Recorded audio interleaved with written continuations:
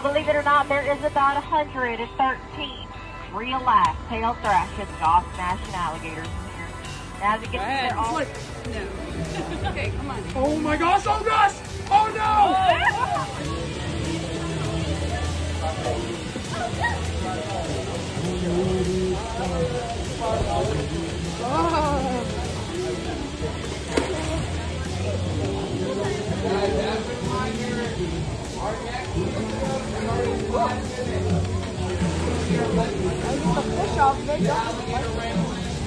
Down the walkway, and then we also have our last up-close encounter show of the day.